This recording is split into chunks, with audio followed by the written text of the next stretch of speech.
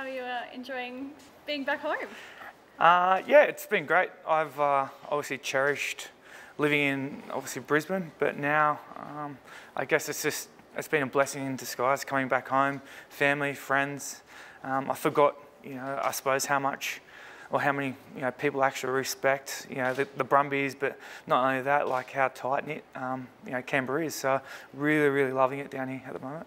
Talk us a bit about the decision, I guess, to, to come back down.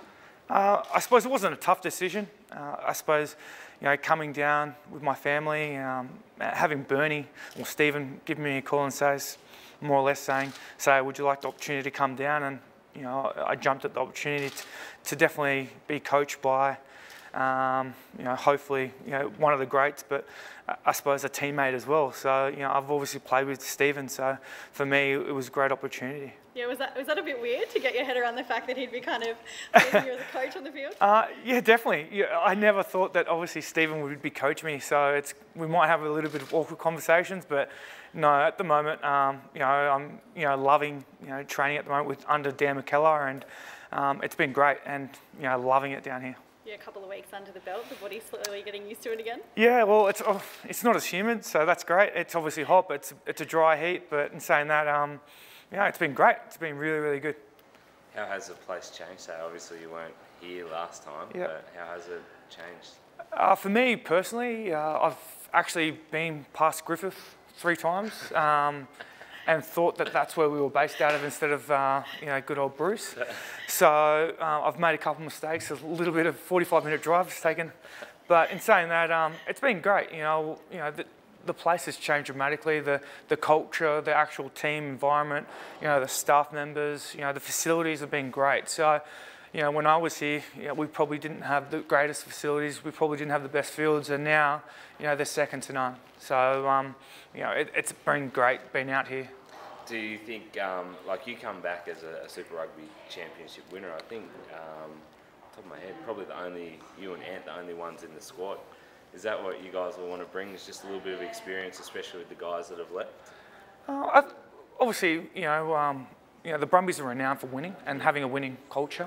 Uh, we, you know, obviously now as being a Brumby player, we probably haven't won a Super Rugby Championship for a long time. So for me to come back, um, I want to bring that, you know, I suppose that winning culture um, and enhance it, you know, with the ability that we, we can win championships. And I think the biggest thing that you know I, I want to show is that you know not, nothing's untouchable, and and I think you know the Brumbies have been so close, um, so many years and so many times. I think that you know we're just on the cusp, and you know having such a great core group and, and young players that are, are really stepping up to the to the plate. I think that we're, we're definitely able to achieve that, and um, you know never under, underestimate the underdogs. I guess. What about the hooker battle? Um, Josh is obviously there, and, and Robbie, Robbie, who was probably what hanging around.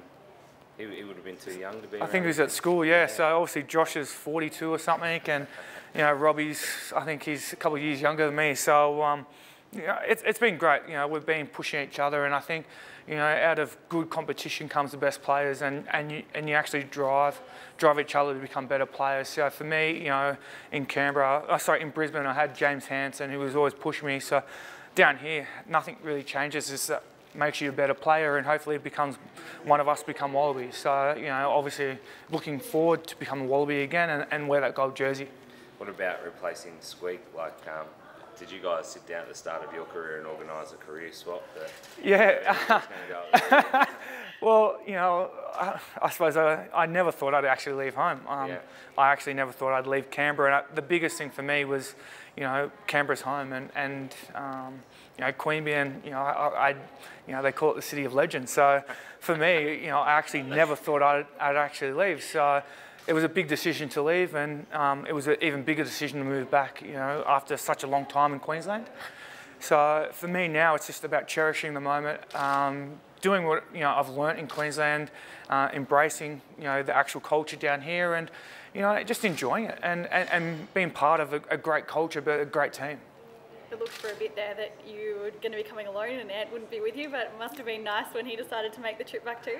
Yeah, uh, it was a quite quite good surprise. I don't think um, you know I had a lot of people saying you know is Anthony going or where's Anthony going, and you know you haven't spent you know, months apart from him. And for me, you know, I suppose you can earn the most of the money in the world, but at the end of the day, if you're not happy, you're not happy. And for us, we love in, we love each other's company. We love playing together, and and it gets the best out of each other. So for us, um, to come home, you know, you know, to play in Canberra, um, to play for the Brumbies, you couldn't have a, I suppose, a better finishing note. So for us, it's it's really great to actually finish, or to, sorry, not finish, but to actually come down and actually start um, rebuilding, I guess, our career again.